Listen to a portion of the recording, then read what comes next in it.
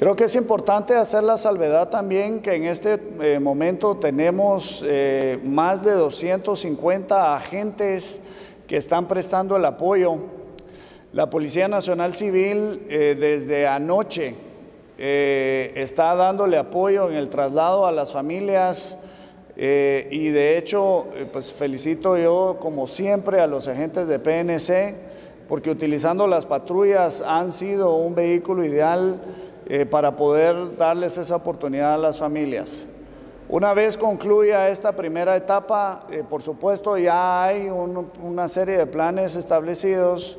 a través de los cuales la siguiente fase es esa seguridad a las áreas de riesgo que están siendo evacuadas.